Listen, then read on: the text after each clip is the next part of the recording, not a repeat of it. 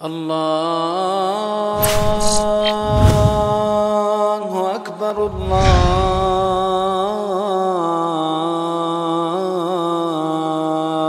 أكبر ورحمة الله وبركاته. إن الحمد لله نحمده ونستعينه ونستغفره. ونعوذ بالله من شرور أنفسنا ومن سيئات أعمالنا. من يهده الله فلا مضل له ومن يضلل فلا هادي له. واشهد ان لا اله الا الله وحده لا شريك له واشهد ان محمدا عبده ورسوله. اللهم صل على محمد وعلى ال محمد كما صليت على إبراهيم وعلى آل إبراهيم إنك حميد مجيد. اللهم بارك على محمد وعلى آل محمد كما باركت على إبراهيم وعلى آل إبراهيم إنك حميد مجيد.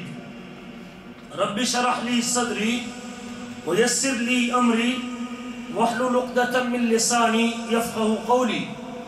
اللهم انفعنا بما علمتنا وعلمنا ما ينفعنا وزدنا علما ينفعنا. اللهم أرنا الحق حقا وارزقنا اتباعه وارنا الباطل باطلا وارزقنا اجتنابه اما بعد فاعوذ بالله من الشيطان الرجيم. محمد رسول الله والذين معه اشداء على الكفار رحماء بينهم. تراهم ركعا سجدا سجدا يبتغون فضلا من الله ورضوانا. سيماهم في وجوههم من أثر السجود.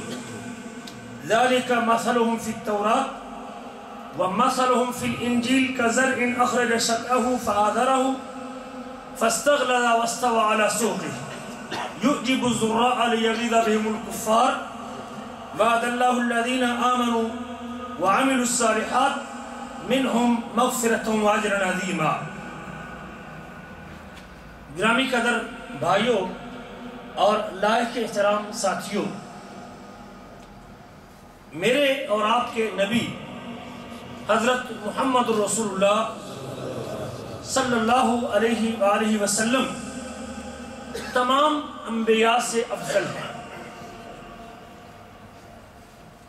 اللہ تعالیٰ نے آدم علیہ السلام سے لے کر نبی آخر الزمان حضرت محمد رسول اللہ صلی اللہ علیہ وسلم تک نبوت اور رسالت کا ایک سلسلہ جاری کیا اور اس سلسلے کی آخری کڑی میرے آپ کی حبیب اور میرے آپ کے سید حضرت محمد رسول اللہ صلی اللہ علیہ وسلم اور ان تمام انبیاء کے سر کے تاج اور ان تمام انبیاء میں سے اعلیٰ اور ان تمام رسولوں میں سے افضل اور اولا وہ میرے آپ کے نبی حضرت محمد رسول اللہ صلی اللہ علیہ وسلم بلکہ اگر یوں کہوں کہ مالک الملک کے بعد تمام مخلوقات میں سے اگر کوئی سب سے اونچا اور عالی مقام رکھنے والی شخصیت ہے، تو وہ حضرت محمد رسول اللہ علیہ وسلم کی شخصیت مبارکہ ہے۔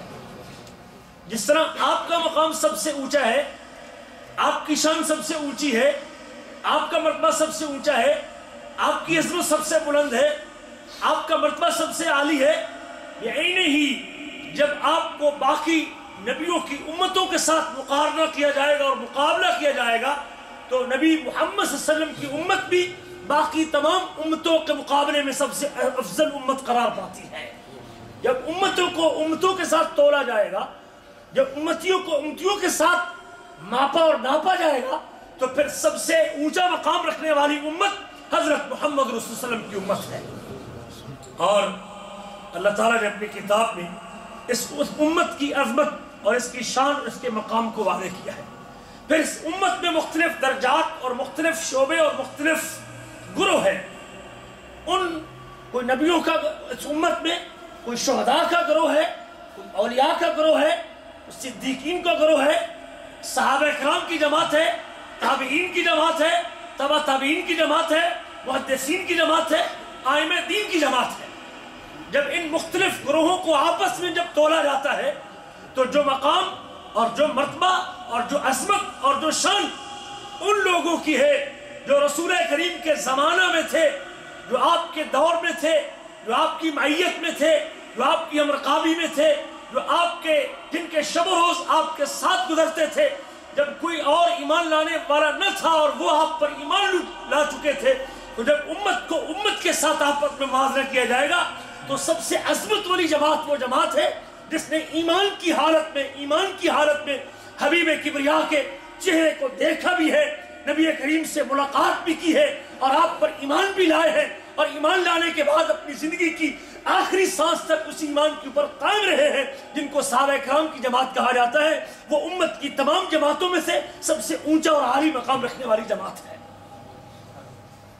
اللہ تعالیٰ نے اس جماعت کے ساتھ، جس کو صحابی کہتے ہیں صحابی کی تعریف کے حوالے سے پچھلے جمعے میں ہمارے بزرگ فضیلت الشیخ مقصود الحسن فیضی صاحب نے بیان کر دیا تھا کہ صحابی اسے کہتے ہیں، من لقی النبی صلی اللہ علیہ وسلم مومنا جو ایمان کی حالت میں، ایمان کی کیفیت میں ایمان لاتے ہوئے نبی کریم صلی اللہ علیہ وسلم سے شرف ملاقات حاصل کرتا ہے، جو ایمان کی حالت میں اللہ کے نبی سے ملتا ہے، وہ مات الاسلام اور پھر اسلام پہ اس کو موت آتی ہے، اس کو صحابی کہتے ہیں۔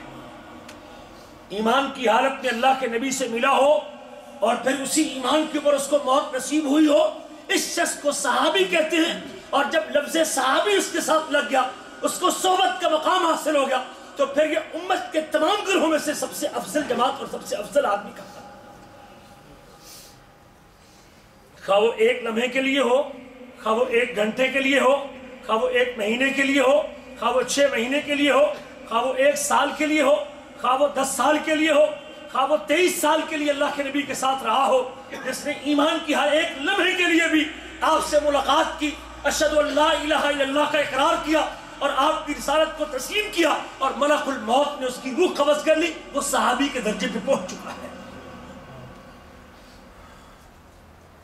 خواہ اس کی وہ صحبت اور آپ سے مجلس اور آپ سے ملاقات وہ مختصر ہو یا لمبی ہو، آپ سے روایت کی ہو یا نہ کی ہو آپ سے حدیث بیان کی ہو یا نہ کی ہو، آپ کے ساتھ جہاد کیا ہو یا نہ کیا ہو، آپ کے ساتھ ہجرت کی ہو یا نہ کی ہو، یہ باقی ساری کے سارے مختلف درجات ہیں جو جس قدر اپنے آپ کو آگے بڑھاتا جائے گا، اپنا مال جان قربان کرتا جائے گا اللہ کی رضا کے لیے مالک الملک کی محبت میں رسول کریم کی اتباع میں اپنا مال بھی قربان کرتا جائے گا، اپنا گھر بھی چھوڑتا جائے گا، اپنا سب کچھ قربان کرتا جائے گا، اپنی جان بھی صرف کرتا جائے گا، اس کا درجہ مقام بلند ہوتا جائے گا۔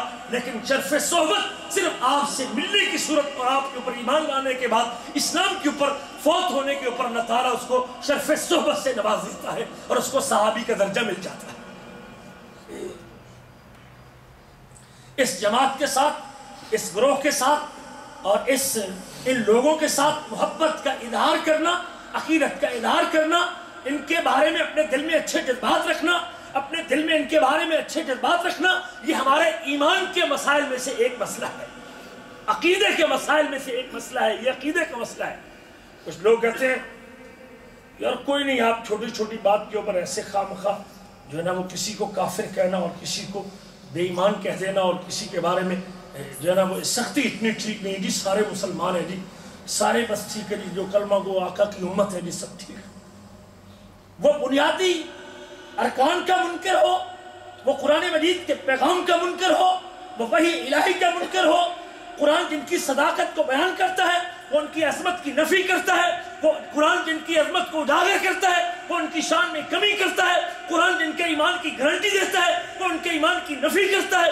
قرآن جن کی قربانیوں پر ذکر کرتا ہے، وہ اللہ پر ان کے ایمان کو ریجیکٹ کرتا ہے۔ بتائیے اس کے، اس کو ہم، اس کے بارے میں چپ رہیں گے، خاموش رہیں؟ نہیں۔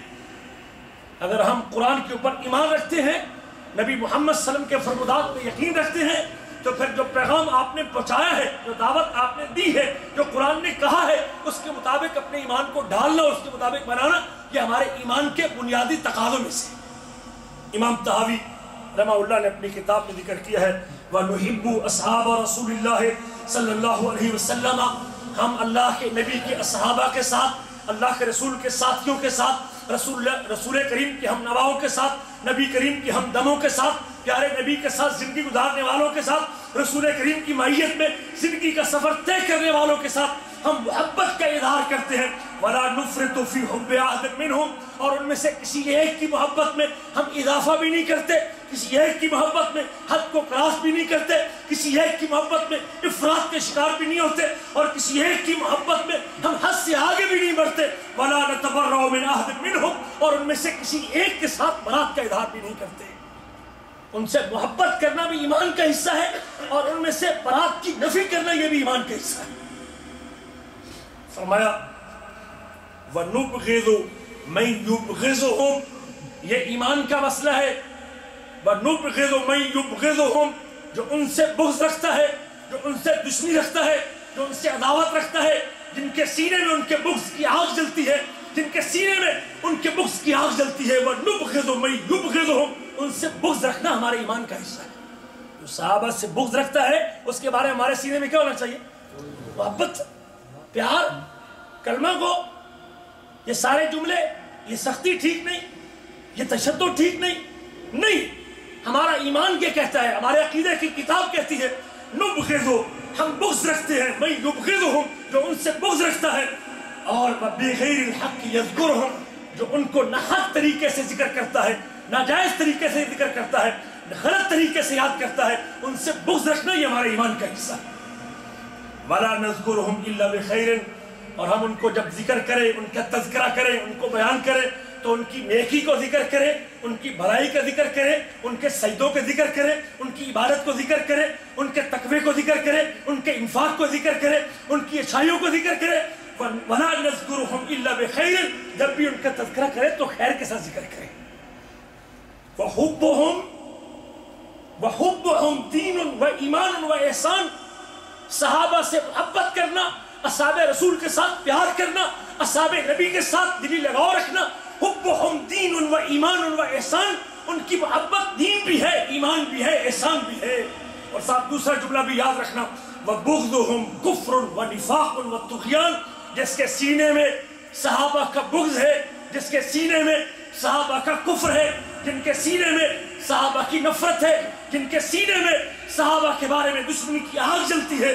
ہمارا عقیدہ اور ہمارا ایمان یہ کہتا ہے، وَبُغْضُهُمْ كُفْرٌ وَنِفَاقٌ وَتُغْيَانٌ ان سے بغض رکھنا کفر بھی ہے، نفاق بھی ہے اور سرکشی بھی ہے۔ حد کو کراس کرنا بھی ہے۔ امام حبیدی نے ذکر کیا اپنے کتاب میں۔ ان من السنت التراحم على اصحاب محمد صلی اللہ علیہ وسلم. اہل سنت کا موقف یہ ہے کہ جب صحابہ کا تذکرہ کرے، جب صحابہ کو یاد کریں جب صحابہ کا ذکر کریں تو ان کا نام لینے کے بعد ان کے لیے رحمت کی دعا کیا کرے۔ اللہ ان کے درجات کو بلند کرے، اللہ ان کے اوپر اپنی رحمت کا نزول کرے، اللہ ان کو اپنی رحمت میں لے لے، اللہ ان کے اوپر اپنی رحمت کا سایہ کرے۔ یہ ہمارے ایمان کا حصہ ہے، اہل سنت کا اعتقاد، اور یہ نظریہ ایمان ہے۔ کہ صحابہ کا ذکر کرے تو ان کے ساتھ رحمت کی دعا کرتے ہوئے ذکر کرے فَإِنَّ اللَّهَ عَزَّ وَجَلْ قَالْ، اس لیے ان کے ساتھ رحمت کی دعا کرنا، ان کا نام لینے کے بعد ان کے لیے رحمت کی دعا کرنا اس لیے ضروری ہے کہ اللہ قرآن میں کہتے ہیں، وَالَّذِينَ جَاءُوا مِن بَعْدِهِمْ، اور وہ لوگ جو ان کے بعد آئے، اور وہ لوگ جو ان کے بعد آئے یقولون ربنا اغفر لنا ولاخوان الذين سبقونا بالایمان ان کی ذمہ داری یہ ہے، وہ اپنی دعاؤں میں ہاتھ اٹھا کے مالک سے یہ دعا کرتے ہیں، ربنا اغفر لنا ولاخوان الذين سبقونا بالایمان۔ اللہ ہم کو بھی معاف کر دے، اللہ ہمارے گناہوں کو بھی معاف کر دے، اللہ ہماری خطاؤں سے بھی درگزر کر دے، اللہ ہمارے گناہوں کو بھی دھو دے اور ان لوگوں کے گناہوں کو بھی معاف کر دے۔ ان کو بھی معاف کر دے جو ایمان میں ہم سے سبقت لے گئے ہیں، جو ہم سے پہلے ایمان لا چکے ہیں، جو ہم سے پہلے آپ آپ پر ایمان لا کے، رب پہ ایمان لا کے، حبیب کبریا کے اوپر ایمان لا کے، کتاب وحی اور قرآن الہی کے اوپر ایمان لا کے ہم سے پہلے چلے گئے ہیں۔ ہم ان کے لیے بھی بخشش کی دعا کرنے کے پابند اور ان کے لیے بھی خیر کی دعا کرنے کے پابند ہیں۔ امام حمیدی کہتے ہیں، فلم نؤمر الا بالاستغفار لهم۔ اللہ نے جو ہم کو حکم دیا ہے ان عظیم شخصیات کے بارے میں، ان برگزیدہ شخصیات کے بارے میں، ان ان ان قدسی شخصیات کے بارے میں، ان مقدس لوگوں کے بارے میں، اس عظیم جماعت کے بارے میں جو ہم سے پہلے گزر گئے۔ فلم نؤمر الا بالاستغفار لهم۔ ہم کو اس بات کو حکم دیا گیا کہ ہم ان کے لیے بخشش کی دعا کریں۔ فمن سبهم او تنقصهم او اهدب منهم، جو ان میں سے کسی کو گالی دیتا ہے کسی کو سب کو شتم کرتا ہے، کسی کو گالی گلوچ کرتا ہے، کسی کو اپنی زبان کا نشانہ بناتا ہے، کسی کو تعلق تشریح کرتا ہے، یا ان کی ان کے مقام کو کم کرتا ہے، یا ان میں سے کسی ایک کے مقام کو کم کرتا ہے۔ فلحی سال سنت ہے اس کا اہل سنت سے کوئی تعلق ولی صلاح فلفی حق، اور اگر جنگ میں مال تقسیم ہو تو ایسے گستاخ صحابہ کا جنگ میں جو مال تقسیم ہوگا، مسلمانوں کے لیے تقسیم ہوگا، ایسے بدبخت کا غیر مسلم کا اس مال میں کوئی حصہ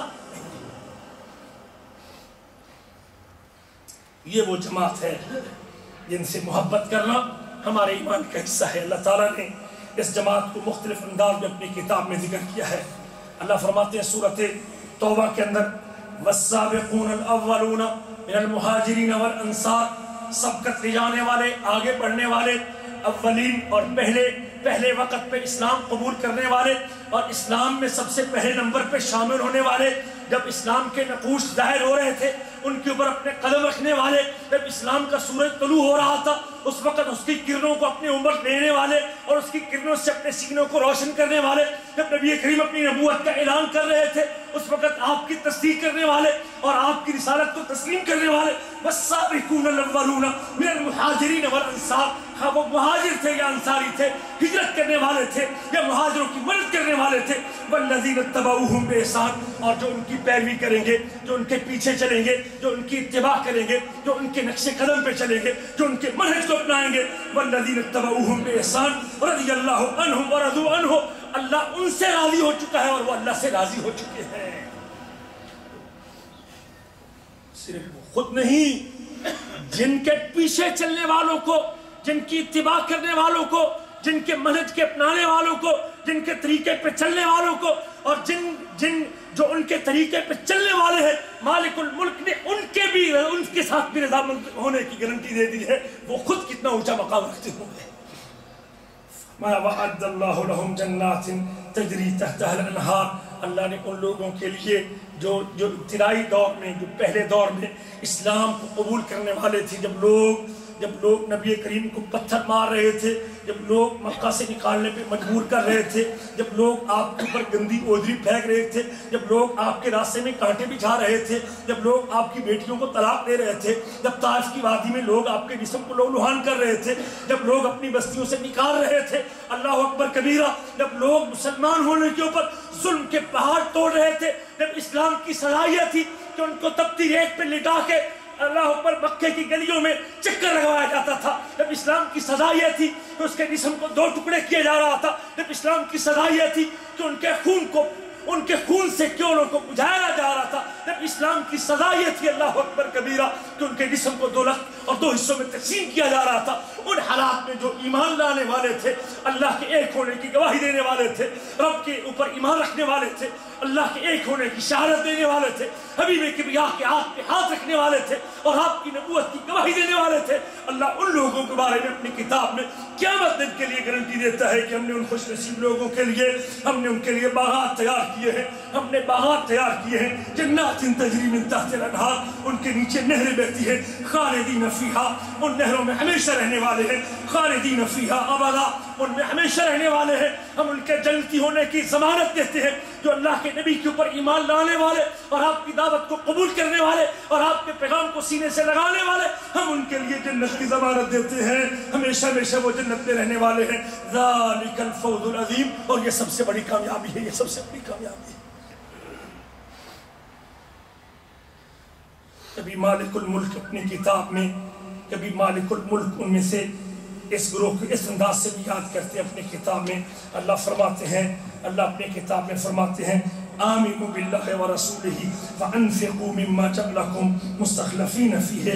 تم اللہ پہ ایمان لاؤ، اس کے رسول پہ ایمان لاؤ اور جس جس جس مال میں اللہ تعالیٰ نے تم کو اپنا جانشی بنایا ہے جس مال کا تم کو اللہ نے اپنا مالک بنایا ہے اور جس مالک میں اللہ نے مال میں اللہ تعالیٰ نے تم کو اپنا نائب بنایا ہے، اس مال کو خرچ کرو۔ وَأَنفِقُوا مِمَّا جَعَلَكُمْ مُسْتَخْلَفِينَ فِي مُسْتَخْلَفِي اور اللہ فرماتے ہیں فَالَّذِينَ آمَنُوا فَالَّذِينَ آمَنُوا اور وہ لوگ جو ایمان لائے اور وہ لوگ جو ایمان لائے اور اپنے مالوں کو خرچ کیا، لہم اجر کبیر ان کے لیے بہت بڑا اجر ہے۔ ان دنوں میں ایمان لانے والے، مالوں کو خرچ کرنے والے ان کے لیے بہت بڑا اجر ہے۔ اللہ فرماتے ہیں، وَمَا لَكُمْ اللہ تنفقوا فی سبیل اللہ اور تم کو کیا ہو گیا کہ تم اللہ کے رسے میں خرچ نہیں کرتے؟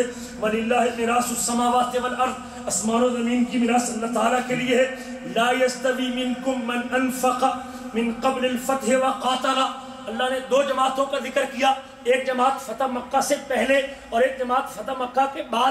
ایک وہ جماعت جو مکہ کے فتح ہونے سے پہلے رسول کریم کی مقابی میں آگے، آپ کی معیت میں آگے، آپ کے ساتھ میں آگے، آپ کے جوار میں آگے، آپ پر ایمان لے کے آئے، اپنا سب کچھ فتح مکہ سے پہلے آپ پر نشاور کر دیا۔ گھر لوٹا تو چھوڑ دیا، گھر چھینا تو چھوڑ دیا، اولاد چھینی تو چھنوا دی۔ سب کچھ قربان کر دیا، رسول کریم کا ساتھ دیا۔ وہ لوگ جو مکہ کے فتح ہونے سے پہلے آپ کے ساتھ تھے، آپ کے ساتھ تھے۔ اللہ فرماتے لا يستوی منکم، من انفق من قبل الفتح۔ وہ لوگ وہ لوگ جو فتح مکہ سے پہلے نبی کریم کے ساتھ تھے، جو فتح مکہ سے پہلے ایمان لا چکے تھے، مکہ کا فتح ہونے سے پہلے اسلام قبول کر چکے تھے، مکہ فتح ہونے سے پہلے اللہ اکبر رسول کریم کی دعوت پہ لبے کہہ چکے تھے، لا يستوي منکم من من انفق من قبل الفتح وقاتل اور لڑائی کر چکے تھے۔ اولئک اعظم درجتا من الذين انفقوا من بعد۔ یہ لوگ، وہ جماعت جو فتح مکہ سے پہلے نبی کریم کے ساتھ لڑائی کر چکی ہے وہ فتح مکہ کے بعد آنے والے کے مقابلے میں اعظم درجہ سب سے بڑا اور سب سے عظیم درجہ رکھتی ہے۔ اللہ تعالیٰ نے تو آپ کی امرقابی میں آنے والے دو گروہوں کو ایک مکہ فتح ہونے سے پہلے تھا اور ایک مکہ فتح ہونے کے بعد تھا۔ جب دونوں گروہوں کو تولا جائے گا تو جو مکہ فتح ہونے سے پہلے آپ کے ساتھ تھے، بعد والے ان کا مقابلہ فرمایا اولئک اعظم درجہ من الذین انفقوا۔ یہ پہلے اسلام لانے والے، پہلے مال خرچ کرنے والے، پہلے ہجرت کرنے والے، پہلے سب کچھ قربان کرنے والے، پہلے اپنی اولادوں کو قربان کرنے والے، اپنی جانوں کو صرف کرنے والے، یہ درجے میں اعظم ہیں، بڑے ہیں، مقام میں اونچے ہیں۔ من الذین انفقوا من بعد، ان لوگوں سے جو بعد میں، جو بعد میں مال خرچ کرتے رہے، لڑائی کرتے رہے، جنگ کرتے رہے۔ وَكُلًّا وَعَدَ اللَّهُ الْحُسْنَى۔ اللہ نے پہلوں سے بھی جنت کا وعدہ کیا، اللہ نے پچھلوں سے بھی جنت کا وعدہ کیا۔ یہ وہ عظیم جماعت ہے جن کے جنتی ہونے کی گارنٹی اللہ تعالیٰ نے اپنی کتاب میں دے دی ہے۔ ہم نے پہلوں سے بھی اور اسنا کی تفسیر میں ایک نہیں، کئی مفسرین نے لکھا ہے کہ اسنا سے مراد جنت ہے۔ ہم نے پہلوں سے بھی جنت کا وعدہ کیا، ہم نے پچھلوں سے بھی جنت کا وعدہ کیا ہے۔ واللہ بما تعملون خبیر۔ اور جو تم عمل کرتے ہو، اللہ تعالیٰ اس سے خوب خبر ہے۔ یہ وہ جماعت ہے اور یہ وہ گروہ ہے، یہ وہ عظیم لوگ ہیں جن کا تذکرہ اللہ تعالیٰ صورت قتال میں کرتے ہیں۔ والذین آمنوا وعملوا الصالحات، وہ لوگ جو ایمان لائے اور نیک عمل کرتے رہے۔ وآمنوا ایمان الزلالہ محمد اور وہ کتاب جو محمد کریم پہ اتاری گئی تھی، جو حبیب کبریا پہ نازل کی تھی، جس کو حضرت جبریل لے کے آئے تھے، کلام مقدس اور کلام الہی جو اللہ نے نازل کی تھی، اور اس پر ایمان لائے اول حق میں ربہم اور وہ ان کے رب کی طرف سے حق ہے۔ کفر عنہم سیئاتہم ہم ان کے ایمان کے سلے میں ان کے عمل کے سلے میں محمد کریم پر نازل شدہ کتاب پر ایمان کے نتیجے میں ہم ان کے گناہوں کو معاف کر دیں گے۔ ہم ان کے گناہوں کو معاف کر دیا ہم نے ان کے گناہوں کو معاف کر دیا ہے۔ وَأَسْلَا بَالَهُمْ اور ان کے معاملات کو ٹھیک کر دیا ہے۔ ذَلِكَ بِأَنَّ الَّذِينَ كَفَرُوا اتَّبَعُوا الْبَاطِلِ۔ اس لیے جو کافر تھے، جو منکر تھے، جو اس پیغام کے انکاری تھے، وہ باطل کے پیروکار تھے، وہ باطل کے پیچھے چلتے تھے جس کتاب پر ایمان رکھنے والے تھے، وہ حق کے پیروکار تھے۔ وَأَنَّ الَّذِينَ آمَنُوا نُتَّبَعُوا الْحَقَّ مِنْ رَبِّهِمْ اور جو ایمان کی نعمت سے مارا مال تھے، وہ حق کی پیروی کرنے والے تھے اور حق کے پیچھے چلنے والے تھے۔ رب ذوالجلال نے ان حق کے اوپر چلنے والوں کے گناہوں کو معاف کر دیا۔ ان کے ایمان اتنی بڑی نیکی ہے کہ مالک الملک نے ایمان جیسی نیکی سے ان کے پہلے سارے گناہوں کو دھو کے حضرت عبداللہ بن عمر بن عمر بن آس جب نبی کریم کی مجلس میں آتے ہیں رسول کریم صلی اللہ علیہ وسلم سے کہتے ہیں، اللہ کے رسول ابسط یمین ہے کا اپنا ہاتھ آگے کیجیے۔ میں آپ کے ہاتھ کے اوپر ہاتھ رکھ کے مسلمان ہونا چاہتا ہوں۔ نبی کریم اس کی بیعت لینے کے لیے اپنا ہاتھ آگے کرتے ہیں۔ جب حضرت عمر بن آس اپنا ہاتھ آگے کرنے کی بجائے اپنا ہاتھ پیچھے کھینچ لیتے ہیں۔ حبیب کبریات سے خود مطالبہ کرتے ہیں۔ رسول کریم اس کی بیعت لینے کے لیے اپنے ہاتھ کو آگے بڑھاتے ہیں۔ جب عمر بن آس کے ہاتھ بڑھانے کی باری آتی ہے اپنے ہاتھ پیچھے کر لیتے ہیں۔ فرمائے ایک شرط ہے اللہ کے نبی، اگر وہ شرط قبول کرتے ہیں تو اسلام قبول کرتا ہوں۔ صحیح مسلم کی حدیث ہے، شرط قبول کرتے ہیں تو اسلام قبول کرتا ہوں۔ شرط قبول نہیں کرتے تو میں اسلام قبول کرنے کو تیار نہیں ہوں۔ فرمایا، عمر، کیا شرط ہے؟ بلائیے، کیا کیا شرط لگانا چاہتے فرمایا، شرط یہ ہے، شرط یہ ہے، اسلام اس شرط میں قبول کرتا ہوں کہ مالک الملک پہلے سارے گناہوں کو معاف کر دے۔ نبی کریم فرماتے ہیں مالک یا عمر عمر، تجھے کیا ہے؟ عمر، تو تو بڑا زیرک آدمی تھا، تو تو بڑا ذہین آدمی تھا، تو تو فتین آدمی تھا۔ میرے گمان میں تو یہ تھا کہ تجھے اس مسئلے کا پتہ ہوگا۔ تو اس مسئلے کو ابھی تک نہیں جانتا۔ یاد رکھ، فَإِنَّ الْإِسْلَامَ يَحْدِمُ مَا قَانَ قَبْلَهُ۔ اگر تو آج میرے ہاتھ پہ ہاتھ رکھ کے اسلام قبول کرتا ہے، اسلام مان لیتا ہے، اللہ کے ایک ہونے کی گواہی لیتا ہے، میری رسالت کو تسلیم کرتا ہے، تو مالک الملک اس اسلام جیسی نیکی کے سلے میں تیرے پہلے سارے گناہ کو معاف کر۔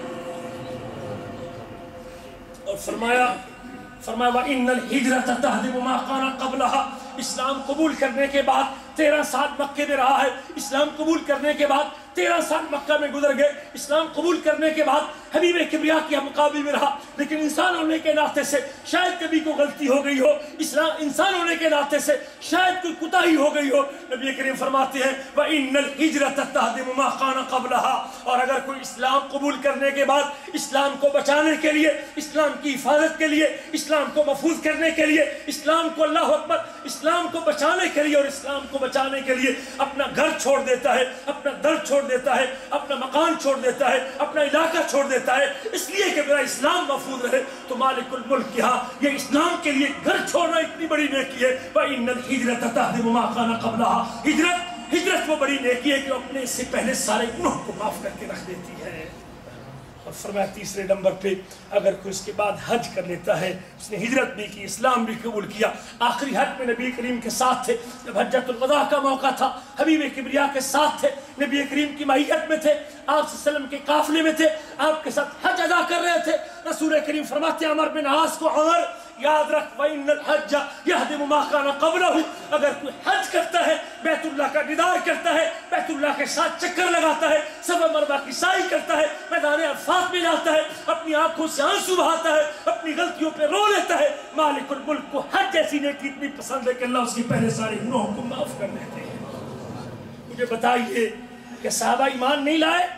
مجھے بتائیے کہ صحابہ نے ہجرت نہیں کی؟ مجھے بتائیے کہ انصاری و مہاجروں نے رسول کریم کے ساتھ حج نہیں کیا، جب یہ ساری کی ساری ایسی نیکی ہے جو اللہ اکبر کبھی گا، اگر انسان ہونے کے ناطے سے ان سے کوئی غلطی ہو بھی گئی ہے، تو ان عظیم نیکیوں کی وجہ سے جو رسول کریم کی ماہیت میں کی ہے، جو آپ کی ساتھ ہو کے کی ہے، مالک الملک نے ان کے کھاتے میں کوئی گناہ چھوڑا ہی نہیں۔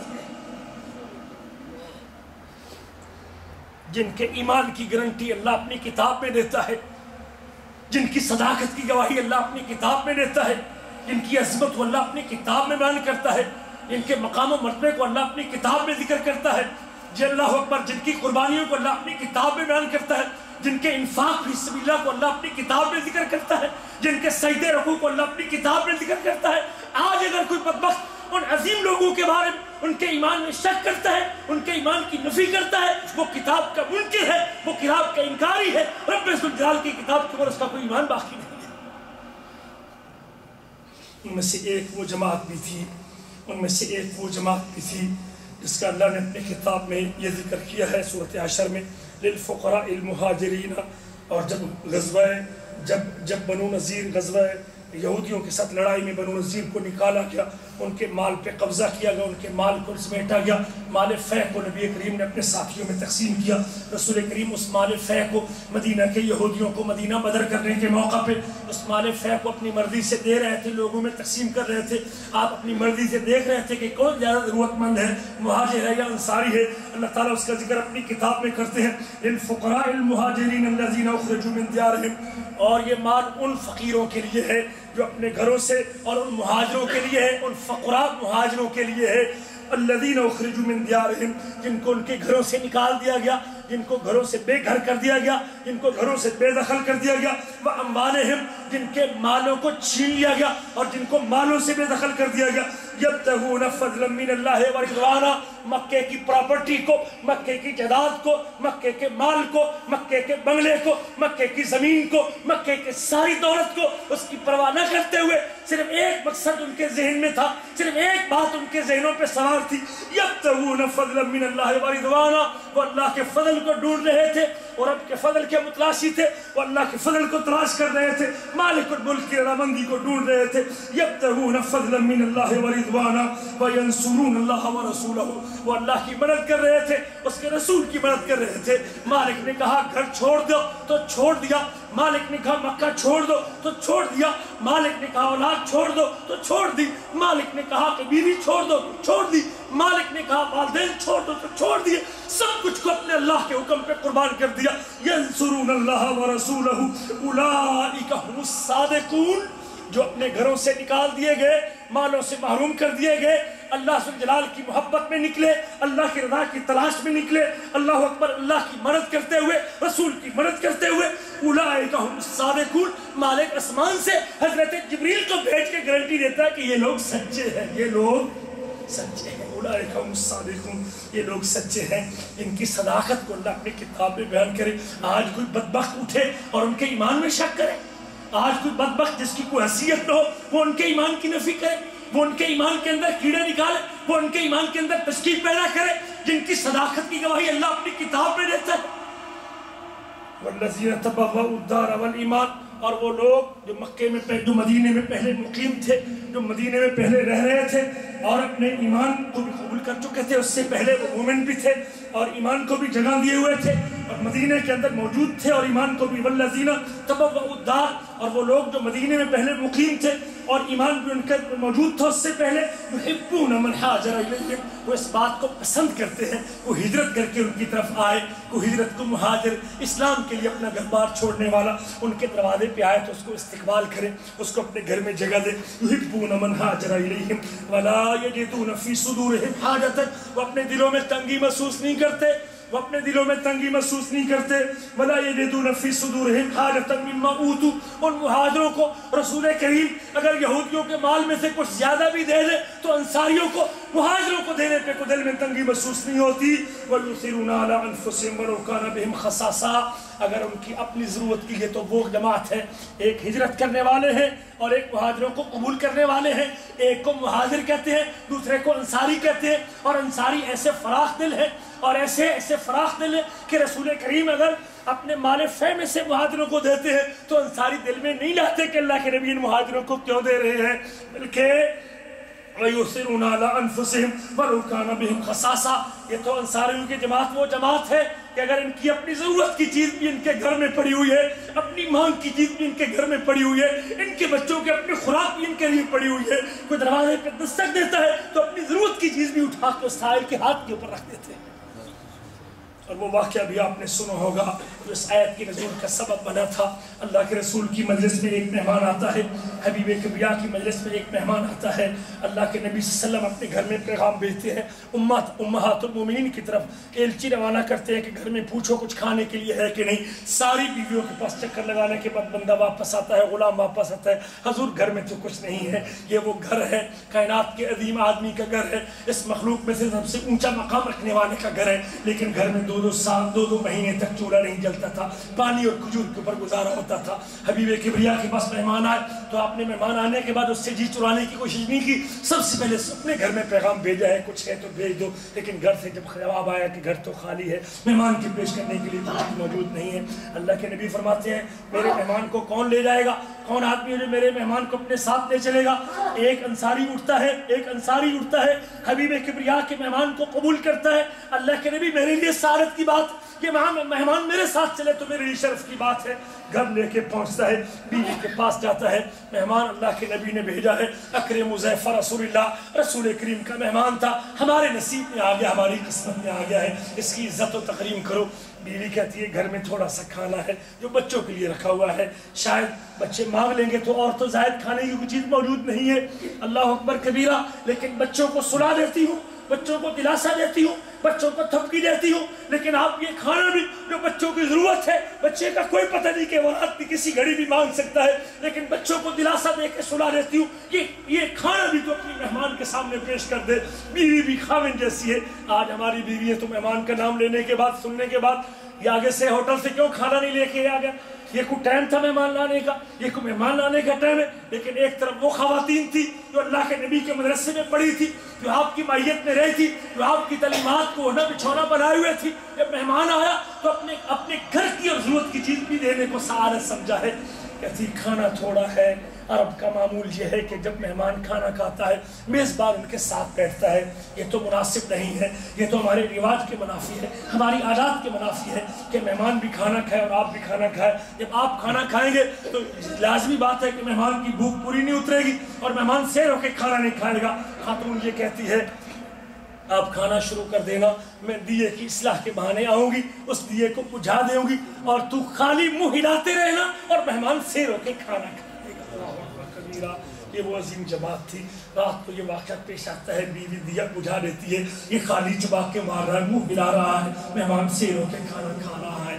اگلے دن نبی کریم کی مجلس میں آیا اور کہتے ہیں، دو بندے مدینے کے دو بندے سے رات اللہ پاک بھی اسمان کے اوپر ہنس رہے تھے، اللہ ہنس رہے تھے ان کے اس قصے کے اوپر جو اپنی ضرورت کی چیز بھی اپنے مہمان کے سامنے پیش کر رہے تھے وَمَنْ يُوقَ شُوَ نَفْسِهِ جو اپنے نفس کی بخیلی سے بچا لیا جاتا ہے، یہی لوگ فلاح پانے والے ہیں۔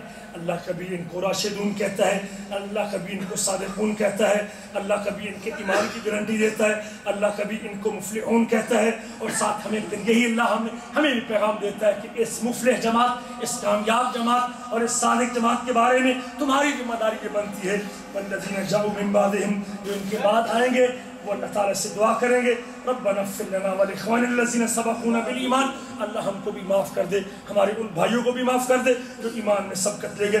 ولا تجعل في قلوبنا غلا للذين امنوا اے اللہ، ان ایمان والوں کے بارے میں ہمارے دل میں کینہ پیدا نہ کر دینا۔ ہر وقت ہمیں ہے اس دعا کے ماننے کے پابند۔ اللہ نے پابند کیا ایمان والوں۔ تم نے اللہ سے یہ دعا کرنی ہے کہ ان ایمان میں سبقت لے جانے والوں کے بارے میں اللہ ہمارے دل میں کینہ پیدا نہ کر دینا۔ بغض پیدا ہر وقت اس بات کی نفی مانگ رہا اللہ تعالیٰ سے۔ یہ مطالبہ کرنا، اللہ، اس جماعت کے بارے میں، ہمارے سینے میں بغض پیدا نہ کرنا، ہمارے سینے میں بغض پیدا نہ کرنا، ان کے بارے میں، ہمارے سینے میں دشمنی نہ پیدا کرنا۔ وَلَا تَجَلْ فِي قُلُوبِنَا غِلًّا لِلَّذِينَ آمَنُوا۔ اے اللہ، ان ایمان لانے والوں کے بارے میں ہمارے دلوں کے اندر غل اور بغض پیدا نہ کرنا۔ وَلَا تَجْعَلْ فِي قُلُوبِنَا غِلًّا لِلَّذِينَ آمَنُوا۔ رَبَّنَا إِنَّكَ رَءُوفٌ رَحِيمٌ۔ اے اللہ، تو بخشتا، تو رحم کرنے والا، شفقت والا، شفقت کرنے والا، رحم کرنے والا ہے۔ ان جماعت میں سے ایک جماعت وہ بھی تھی۔ جس کا تذکرہ اللہ تعالیٰ نے صورت فتح کے اندر کیا ہے۔ اللہ کے نبی جب مدینہ سے نکلے، اللہ کے رسول مدینہ سے نکلے، ارادہ یہ تھا کہ مکہ فتح کر رہے ہیں۔ آپ سلم کا عمرے کا ارادہ تھا۔ عمرے کا ارادے کے ساتھ نکلے تھے، لیکن جب مکہ کے قریب پہنچے تو آپ کو روک دیا گیا۔ مکہ چھ ہجری کا واقعہ ہجرت کو چھ سال بیتے تھے۔ خواب میں دیکھا کہ ہم مکہ کا مکے کا طواف کر رہے ہیں۔ خواب کی تکمیل کے لیے اور خواب کو پورا کرنے کے لیے عمرے کا ارادہ کر لیا۔ جب مدینہ سے نکلے اور مکہ مکہ کے قریب پہنچے ادیبیہ کے مقام پہ، تو مکہ والوں نے کہا کہ ہم آپ کو عمرہ کرنے کی اجازت نہیں دیتے۔ رسول کریم صلی اللہ علیہ وسلم اپنے ساتھیوں سمیت وہاں بیٹھ گئے۔ ایگریمنٹ طے ہو گیا کہ اگلے سال اس عمرے کی قدائی دے لینا۔ اور پھر ایگریمنٹ طے ہونے کے بعد ادیبیہ کا ایگریمنٹ اس کو صلح ادیبیہ کہتے ہیں۔ رسول کریم نے اپنی جانور ذبح کر دیے، صحابہ کرام نے بھی آپ کے اتباع میں اپنے جانوروں کو قربان کر دیا۔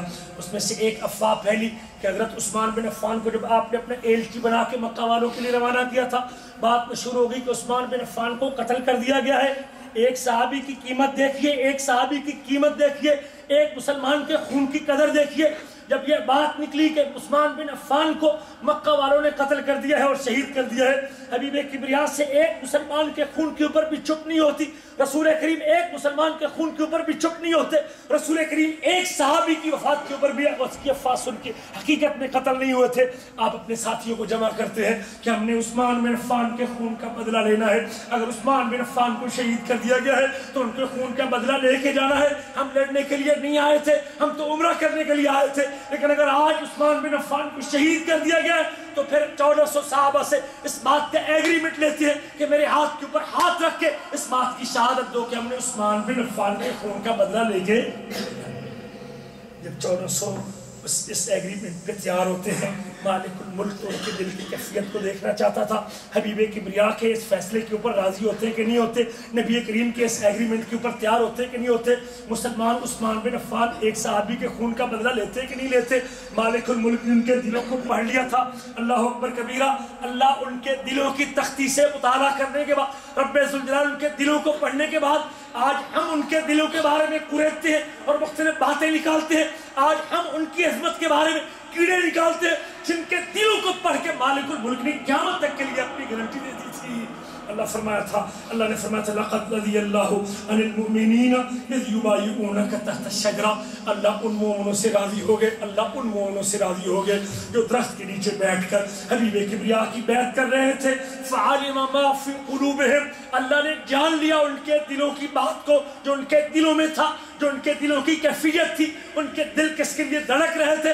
دلوں میں کیا تھا؟ دلوں میں مخلص تھے کہ سچے تھے، ان کے خلوص کو، ان کے صدق کو، ان کی وفا کو، ان کی محبت کو کتاب کے اوپر تیار ہونے کو۔ مالک الملک نے پہچان لیا۔ فعلم ما فی قلوبہم فانزل السکینت علیہم اللہ نے ان کے اوپر سکون نازل کیا۔ واصابہم فتح قریبا اور اللہ تعالیٰ نے ان کو قریب کی فتح کا وعدہ بھی کیا ہے۔ یہ وہ جماعت ہے جن کی جن سے رضامندی کے سرٹیفکیٹ اللہ نے اسمان میں عثمان سے دے دیا کہ اللہ ان تمام مومنوں سے راضی جو حدیبیہ کے مقام پہ نبی کریم کے ہاتھ کے اوپر ہاتھ رکھ کے بیعت کر رہے تھے، اللہ نے ان کی دل کی تختیوں کے اوپر بھی جو تھا، اللہ نے وہ بھی پڑھ دیا ہے۔ امام ابن کثیر فرماتے ہیں، فعلم ما فی قلوبہم ہم نے جان لیا، اللہ نے ان کے دلوں کی بات کو، اے من الصدق والوفاء والسمع والطاعت، ان کے صدق کو، ان کی سچائی کو، ان کی وفا کو ان کی سما کو، ان کی اطاعت کو حبیب کبریا نے کہا، بیٹھ جاؤ تو بیٹھ گئے، اٹھا دیا تو اٹھ گئے، کھڑے ہونے کو کہا تو کھڑے ہو گئے، تلوار رکھنے کو کہا تو تلوار رکھ دی، جانوروں کو ذبح کرنے کے لیے کہا تو اپنے جانوروں کو قربان کر دیا، ان کے صدق کو، ان کی وفا کو، ان کی اطاعت کو اور ان کے سننے کو پہچان لیا۔ حالت یہ تھی، اللہ اکبر کبیرہ، حالت یہ تھی جب عروہ بن مسعود السقفی اس موقع پہ کفار کا ایلچی بن کے آتا ہے، صحابہ کرام کا جب کیفیت دیکھتا ہے کہ یہ تو اللہ کے نبی کا اتنا احترام کرنے والے اور آپ کی محبت میں گرفتار اور آپ سے پیار کرنے والے اور آپ کے حکم کے اوپر اللہ اکبر اپنا سر جھکانے والے اور سر تسلیم خم کرنے والے، آپ کا ادب اور آپ کا احترام کرنے والے اللہ اکبر کبیرہ کہتا ہے، میں دیکھتا ہوں ان میں سے کوئی ایک شخص بھی رسول کریم کی طرف نگاہ بھر کے دیکھنے کو تیار نہیں تھا۔ آپ کے احترام کی وجہ سے یہ وہ جماعت تھی۔ اللہ کے نبی جب وضو کے لیے اٹھتے، یہ تو وضو کا پانی بھی نبی کریم کے نیچے نہیں گرنے دیتے تھے۔ یہ وہ جماعت تھی۔ اللہ اکبر کبیرہ، لقد لقد وفدت على ملوک۔ میں بڑے بڑے بادشاہوں کے پاس سفیر بن کے گیا ہوں، لیکن جو تعظیم نبی کریم کے صحابہ محمد کریم کی کرتے ہیں، میں نے بڑے بڑے بادشاہ کے وزیروں کو اپنے بادشاہوں کی وہ تعظیم کرتے ہوئے نہیں دیکھا۔ جو تعظیم نبی کریم کے صحابہ اپنے نبی محمد صلی اللہ علیہ وسلم کی کرتے ہیں، یہ وہ عظیم لوگ ہیں جن کے بارے میں اللہ تعالیٰ نے اپنے کتاب میں یہ بھی گارنٹی دی ہے۔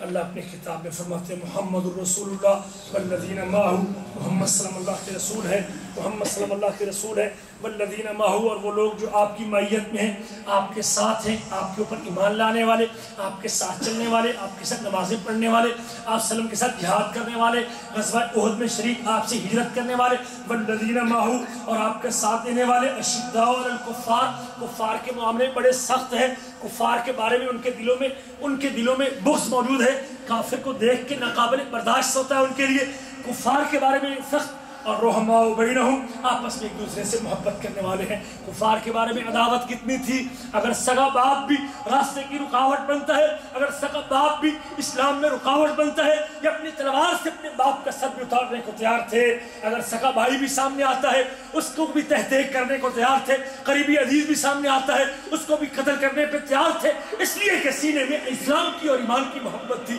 کفر کے ساتھ نفرت موجود تھی۔ ابو عبیدہ بن جراح اشرف مبشرہ میں سے ایک ہے۔ ان دس لوگوں میں سے ایک ہے جن کو اللہ کے نبی نے دنیا میں جنت کی بشارت عطا کی ہے۔ ابو بیدہ بن جگہ نے جنگ کے موقع پہ اپنے سگے باپ کا سر تن سے جدا کر کے بتا دیا ہے۔ جن کے سینوں میں اللہ کی محبت ہوا کرتی ہے، ان کا باپ بھی ان کے راستے کی رکاوٹ نہیں بنا کرتا۔ یہ وہ عظیم جماعت تھی۔ حضرت عمر بن خطاب اپنے سگے ماموں کا سر قلم کرتے ہیں۔ یہ وہ جماعت تھی۔ اگر ابو بکر صدیق کا بیٹا کہتا ہے کہ بیٹا کہتا ہے کہ باجی آپ بدر کے موقع پہ میرے وار کے نیچے آ چکے تھے، میں نے آپ کو باپ سمجھ کے چھوڑ دیا تھا۔ ابو بکر صدیق کہتے ہیں، تو نے تو باپ سمجھ کے چھوڑ دیا تھا۔ اگر تو اس دن میرے وار کے نیچے آتا، میں بیٹا سمجھ کے کبھی تجھ کو معاف نہ کرتا۔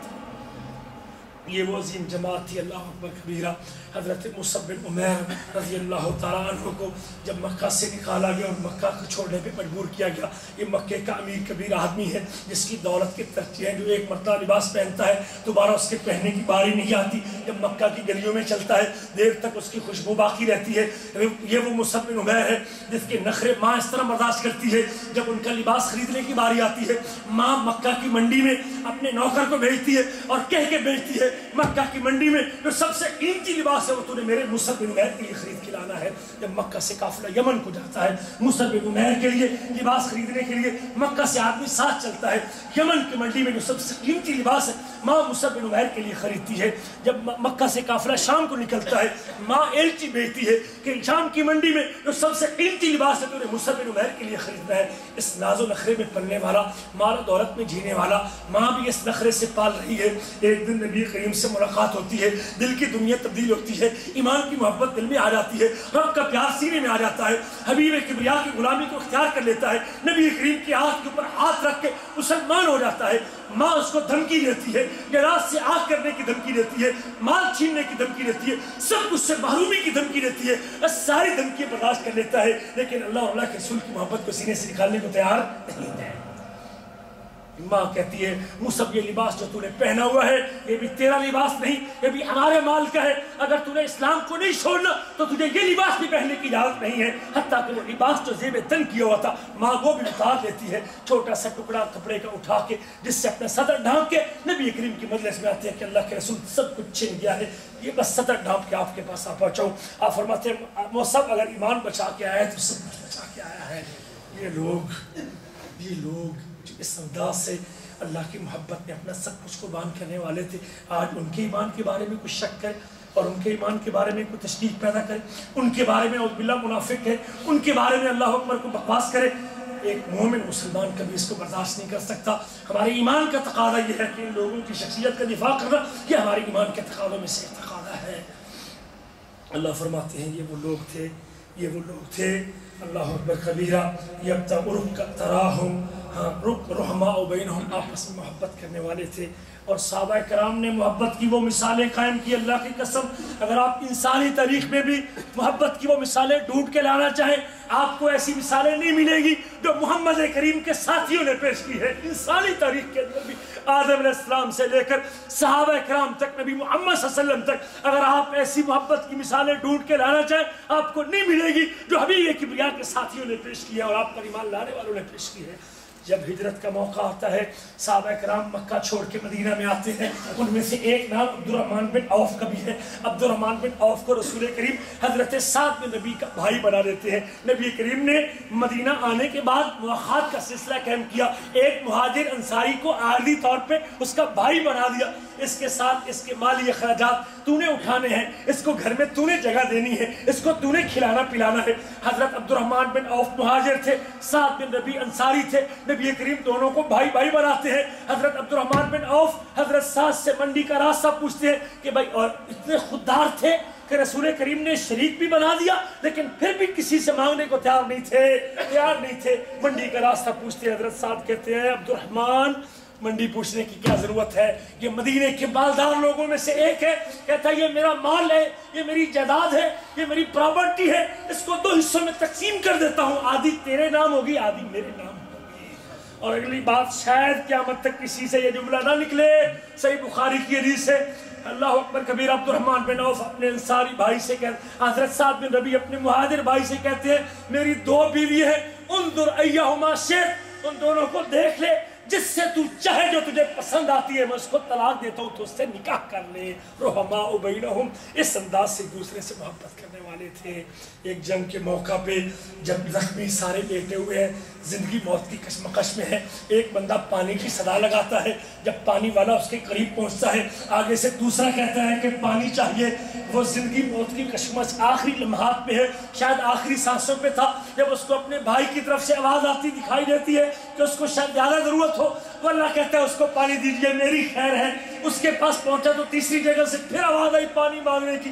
دوسرا کہتا ہے، تیسرے کے پاس پانی لے جا۔ مجھے اب پانی کی ضرورت نہیں، شاید اس کو زیادہ ضرورت ہو۔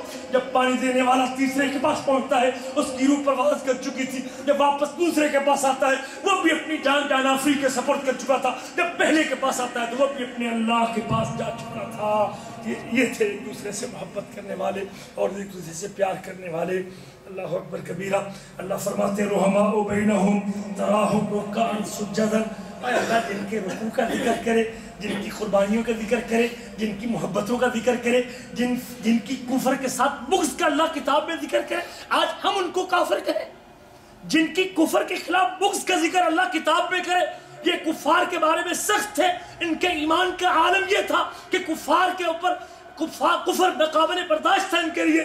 اور آپس میں محبت کرنے والے تھے اور اللہ فرماتے ہیں تراہم رکعن سجدہ جب بھی ان کو دیکھو گے رکوع کرتے دیکھو گے سجدہ کرتے دیکھو گے یہ فرائض کے بھی پابند ہیں، یہ نفلی نمازوں کے پابند ہیں، یہ اپنے اللہ کے سامنے جھکنے والے ہیں، یہ اپنی پیشانی رب کے دربار میں ٹیکنے والے ہیں، یہ اللہ کی عبادت میں بھی ایک نہ ایک نمبر پہ حقوق العباد کو بھی پورا کرتے ہیں، حقوق حقوق اللہ کو بھی ادا کرتے ہیں۔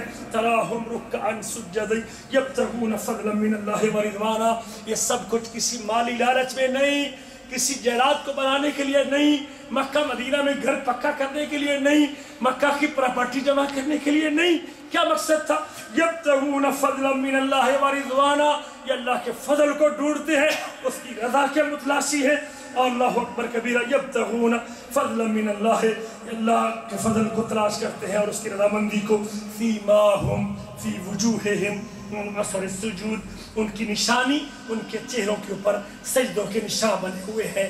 سجدوں کے نشان ان کے چہروں کے اوپر، ان کے ماتھوں کے اوپر ہے ذالک مثلہم فی التورات۔ یہ وہ جماعت ہے، یہ وہ گروہ ہے۔ آپ پر اولین حیثیت میں ایمان لانے والے اور سب سے پہلے آپ کی دعوت میں لبیک کہنے والے یہ وہ لوگ ہیں۔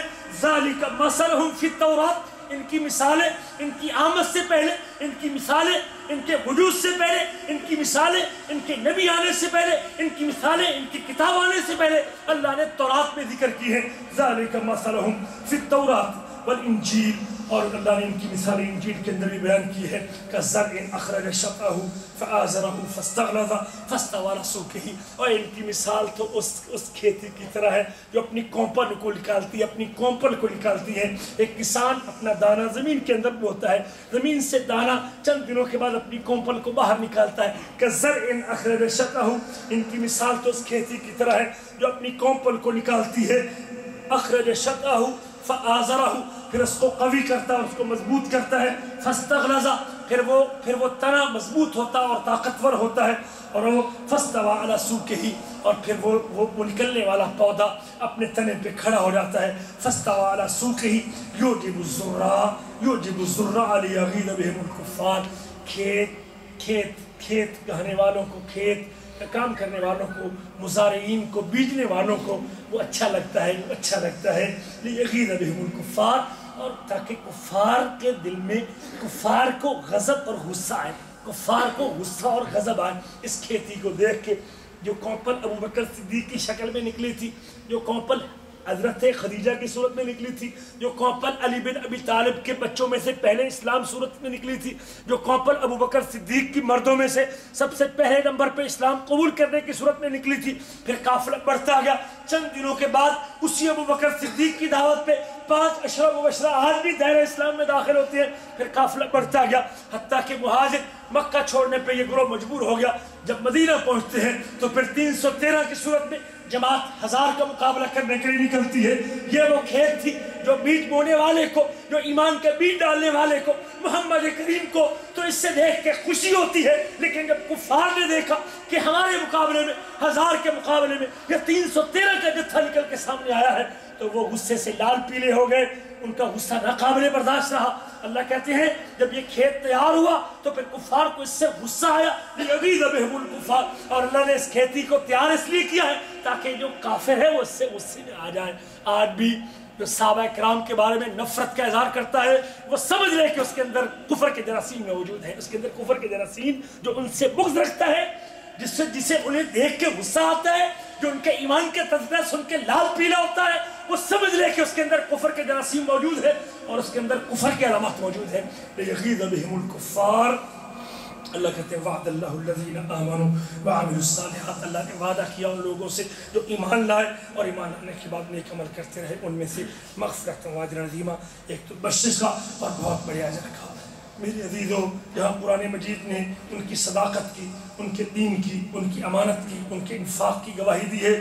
وہاں میرے آپ کے نبی حضرت محمد رسول اللہ اللہ علیہ وسلم نے بھی ان کی عظمت کو بیان کیا ہے۔ اللہ کے نبی فرماتے ہیں لا تسبو اصحابی۔ اور میرے ساتھیوں کو جن کے زندگی کے شب و روز میرے ساتھ گزرے ہیں، جو میرے ساتھ ایمان لے کے آئے ہیں، جو میری انگلی کے اشارے پہ اپنی جان قربان کرنے کو تیار تھے، جو میرے لیے سب کچھ قربان کر چکے تھے، جو میری اتباع میں سب کچھ اللہ اکبر، اللہ کے راستے میں، اللہ کے راستے میں قربان کرنے کو تیار تھے۔ لا تسبو اصحابی، میرے صحابہ کو گالی نہ دینا فوالذی نفسی بیدی مجھے اس ذات کی قسم ہے جس کے ہاتھ میں میری جان ہے۔ لو ان احدکم انفق مثل احد الذهب اگر تم میں سے کوئی آدمی احد پہاڑ کے برابر بھی سونا خرچ کر دے، ما ادرک مدہ احدہم ولا نصیفہ تمہارا احد پہاڑ کے برابر سونا خرچ کرنا صحابہ کرام کی ایک مٹھی، آدھی مٹھی کا بھی مقابلہ نہیں کر سکتا۔ نبی کریم کا ارشاد گرامی ہے۔ آپ فرماتے ہیں، حضرت عمران بن حسین اس کو روایت کرتے ہیں، ان خیرکم قرنی اور دنیا کے لوگوں، میری امت کے لوگوں، یاد رکھو، ساری امت کو مخاطب کر کے فرمایا، اور میری امت کے لوگوں، تم میں سے سب سے بہترین لوگ، سب سے بہترین زمانہ، سب سے بہترین جماعت، سب سے بہترین گروہ وہ ہے۔ جو میری معیت میں تھے، جو میری موجودگی میں تھے، جو تیئیس سالوں میں میرے ساتھ باقی رہے۔ ان خیرکم کرنی تم میں سے سب سے بہترین وہ لوگ ہیں جو میرے زمانے میں تھے۔ سم الذین یلونہم، پھر وہ لوگ جو ان کے بعد میں آئے، تابعین کا زمانہ۔ سم الذین یلونہم، پھر وہ لوگ جو ان کے بعد میں آئے تبا تابعین کا زمانہ۔ اس کے بعد نبی کریم نے تین گروہوں کا ذکر کیا ہے۔ رسول کریم کا ارشاد گرامی ہے۔ ایک دن نبی کریم حضرت ابو بردہ اپنے باپ سے روایت کرتے ہیں کہ میں نے مغرب کی نماز اللہ کے نبی کی معیت میں پڑھی۔ رسول کریم صلی تو نماز پڑھانے کے بعد چلے گئے۔ ہم بیٹھے رہے۔ ہمارا ارادہ تھا کہ آج عشاء کی نماز بھی اللہ کے نبی کے ساتھ پڑھیں گے۔ جب ہم بیٹھے رہے تو نبی کریم تھوڑی دیر کے بعد باہر نکلے۔ آپ سوال کرتے ہیں کہ بھائی ابھی تک تم یہاں بیٹھے ہوئے ہو؟ ہم نے کہا اللہ کے نبی مغرب کی نماز آپ کے ساتھ پڑھی تھی۔ پھر ہم نے سوچا کہ چلو بیٹھ جاتے ہیں۔ عشاء بھی آپ کی معیت میں پڑھ کے جاتے ہیں، فرمایا احسن تم و سب تم تم نے بہت اچھا کام کیا ہے کہ تم عشاء کے انتظار میں میری معیت میں نماز پڑھنے کو تیار تھے۔ فرمایا، ثم رفع رسول السما پھر میرے آپ کے حبیب، میرے آپ کے سید اپنے اپنے سر کو اسمان کی طرف بلند کرتے ہیں اور ساتھ فرماتے ہیں، اور اللہ کے نبی عمومی طور پہ اپنے سر کو اسمان کی طرف بلند کیا کرتے تھے۔ فرمایا، النجوم امنت السما صحیح بخاری کی حدیث سے یہ ستارے اسمان کے لیے امان ہے یہ ستارے اسمان کے لیے امان ہے۔ جب تک ستارے قائم ہیں تو اسمان بھی قائم ہے۔ جب تک ستارے قائم ہیں تو اسمان بھی قائم ہے۔ جب قیامت آئے گی ستارے ٹوٹ جائیں گے تو اسمان بھی باقی بچے گا نہیں۔ یہ ستارے اسمان کے لیے امان ہے۔ فائدہ ذہبت النجوم ما توعد۔ جب ستارے چلے جائیں گے تو پھر اسمان کے اوپر وہ وقت آ جائے گا جس کا اس, سے وعدہ کیا گیا ہے۔ وانا امنۃ لاصحابی اور میں اپنے صحابہ کے لیے امان ہوں، میں اپنے صحابہ کے لیے امان ہوں۔ فائدہ ذہبت اتى اصحابی ما یوعدون جب میں چلا جاؤں گا، جب میں چلا جاؤں گا، تو پھر صحابہ پہ بھی وہ ازمائشیں آ جائیں گی، جن کا ان سے وعدہ کیا گیا ہے۔ اصحابی امنت امتی اور میرے صحابہ میری امت کے لیے امان ہے۔ میرے صحابہ میری امت کے لیے امان ہے۔ فَإِذَا صَحَبَ أَصْحَابِ أَتَا أُمَّتِ مَا يُعَدُونَ پھر امت پہ وہ فتنے ٹوٹ پڑیں گے جس کا اللہ نے اس سے وعدہ کیا ہے۔ اللہ تعالیٰ نے صحابہ کے وجود کو امان قرار دیا ہے۔ نبی کریم کا ارشاد گرامی ہے، لا تزالون بخیر ما دام فیکم مرہانی اس وقت تک تم بھلائی میں رہو گے، جب تک تم میں ایسے لوگ موجود رہیں گے جنہوں نے مجھ کو دیکھا ہے یا میرے ساتھ میں رہے۔ واللہ لا تزالون بخیر۔ اور پھر اس وقت بھی تم خیریت کے ساتھ رہو گے، جب تک تم میرے صحابہ کو ایمان کی حالت میں دیکھنے والے لوگ موجود رہیں گے۔ اللہ کے نبی صلی اللہ علیہ وسلم نے صحابہ اور صحابہ کے اوپر ایمان لانے والے لوگوں کی ایمان کی گارنٹی دی ہے۔ حضرت عبداللہ بن مسعود رضی اللہ تعالیٰ کا یہ قول بھی ذہن میں رکھیے گا۔ تو فرماتے ان اللہ نظر فی قلوب العباد اللہ تعالیٰ نے اپنے بندوں کے دلوں کو دیکھا۔ فوجد قلب محمد صلی اللہ علیہ وسلم۔ اللہ تعالیٰ نے اپنے بندوں کے دلوں کو دیکھا اور محمد کریم صلی اللہ علیہ وسلم کے دل کو اللہ تعالیٰ نے محمد کریم صلی اللہ علیہ وسلم کے دل کو پورے لوگوں کے دلوں میں سب سے بہترین دل پایا فاستفاہ النفس ہی۔ اللہ تعالیٰ نے حبیب کبریا کے دل کو اپنے لیے چن لیا۔ فبتعثہ برسالت ہی۔ اور پھر آپ نے لیے چننے کے بعد نبی کریم کو رسول بنا کے بھیجا۔ ثم نظر فی قلوب العباد بعد قلب محمد۔ پھر نبی کریم کے دل کے بعد صلی اللہ علیہ وسلم، پھر باقی لوگوں کے دلوں کو دیکھا۔ فوجد قلوب اصحابہ خیر قلوب العباد پھر اللہ اکبر، باقی دنیا کے دلوں کے مقابلے میں اگر سب سے بہتر دل کسی کے پایا تو پھر نبی کریم کے صحابہ کے دلوں کو پایا فَجَعْلَهُمْ وُزَرَاءَ نَبِيهِ تو ان کی ان پقیدہ دل ہونے کی وجہ سے ان کو اپنے نبی کے وزیر بنایا۔ يُقَاتِلُونَ عَلَى دِينِهِ جو اس کے دین کے اوپر قتال کرتے ہیں۔ فَمَا رَآ الْمُسْلِمُونَ حَسَنًا فَوَعِنْدَ اللَّهِ حَسَنًا۔ جو اس جماعت نے جس کو اچھا کہا، وہ اللہ کے ہاں بھی اچھا ہے۔ اور جس کو اس جماعت نے برا کہا، وہ اللہ کے ہاں بھی برا ہے۔ یاد رکھیں، یہ بھی ایک صحابی کا قول ہے۔ من کان منکم مستنن، فلیستن بمن قدمات جو تم میں سے کسی کے طریقے پہ چلنا چاہتا ہے، زندہ لوگ گمراہ ہو سکتے ہیں، ان کے اوپر فتنہ آ سکتا ہے ادمیش آ سکتی ہے رہراس سے بھٹک سکتے ہیں، کسی کے لیے کوئی گارنٹی نہیں ہے، لیکن جو اللہ کے پاس چلے گئے ہیں، آپ اس کے منہج کو اپنائیے، صرف سالین کے منہج کو اپنائیے، صحابہ کے منہج کو اپنائیے فرمایا اولئک اصحاب محمد ہیں، اور یہ لوگ کون جماعت ہے؟ وہ محمد کریم کی جماعت ہے، قانو خیر هذه امت ہے۔ یہ اس امت میں سے سب سے بہترین جماعت تھی، جن کے دل سب سے نیک دل تھے جن کا علم سب سے گہرائی والا علم تھا اور جو سب سے کم تکلف کرنے والے تھے. قوم اختارہم اللہ لصحبت صحبت نبی ہی. یہ وہ عظیم جماعت ہے جن کو مالک الملک نے اپنے نبی کی صحبت کے لیے چنا ہے. ونقل دین ہی اور اپنے نبی کے دین کو منتقل کرنے کے لیے چنا ہے فتشبہوا باخلاقہم وطرائقہم آپ ان کے اخلاق کو اپنا لیجیے، ان کے طریقوں کو اختیار کیجیے۔ فہم اصحاب محمد صلی اللہ علیہ وسلم اور وہ نبی کریم کے صحابہ ہیں۔ قانون الہدا المستقیم وہ سیدھے راستے پہ تھے اور ہدایت پہ تھے۔